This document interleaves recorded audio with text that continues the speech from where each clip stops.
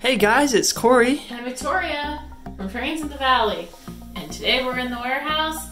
We got HO Freight and Loco, so let's check it out. Okay, right off the bat, we have a Union Pacific piggyback trailer, a stock car, and then we get into a bunch of different tank cars, or a couple that I've never seen before, specifically that one, Yukon Union Carbide. It's an interesting car. Let's see, we have some flat cars, we got the coil car, that's always nice. Couple gondolas, A couple nice ones there. I think this Pennsylvania is a Rivarossi, so that's certainly nice. Alright, some various flat cars and miscellaneous cars. Some are just shells. Uh, some some got a little beat up, but some of these cars are really nice too. So we kind of have a bunch in various conditions here. Yep, so some cabooses here. I always like to see this, some nice covered hoppers. Those are definitely cool. Some small covered hoppers and a couple open hoppers as well. Alright, we're gonna keep moving through it. We got some more stuff to check out, so we'll move this stuff and bring some more stuff out. We got a bunch of box cars, all kinds. Baby Ruth, Penn Central, Union Pacific, Toys R Us, Santa Fe, more Baby Ruth. Oh, that's a stock car. it's in here randomly. Uh-oh. we got Illinois Central, Ajax, Polaroid, so a bunch of billboard stuff too in here. Old Dutch cleanser. Most of these are in really good condition. Superman, SOS, and some shells.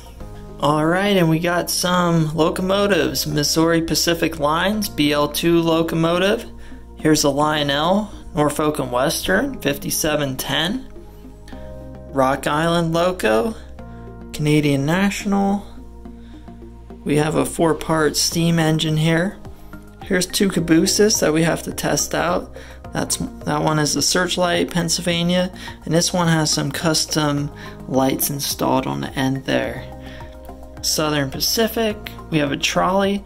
I remember testing this when I bought the collection. It works good, except it's missing a wheel, unfortunately. So, and that, that one's a Bachmann. Here's a Tyco Chattanooga. Um, I, I know it's missing a couple parts, but I have a good feeling that this one's gonna work. So we'll test everything in a minute and see how we did. We have a Santa Fe, another Santa Fe number 350, and here we have an Athearn set, A and B unit. These are rubber band drivers, so of course we need new rubber bands here. And to finish off, we have a Rivarossi C&O number 4012.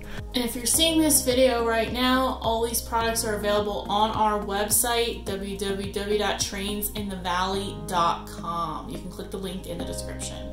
Alright, guys, that's it for today. I know it was a little brief, but there's been a lot going on lately. Uh, we have a huge update about our mission and the things that are going on with our train shop. So stay tuned for that. Stay tuned for more collections. I'm pretty sure next time we'll be doing some N scale. Um, and yeah, uh, also I want to mention check out our website if you weren't on there lately, not only for these products, but we have been adding a few hundred items every week. Uh, we're collecting items from the shop, we're collecting items from our warehouse, stuff that um, was on our previous websites that we're now getting transferred onto our new website. So go check it out. We got tons of new items, tons of used items, and that's about it. We'll see you guys next time. All right, bye. Bye.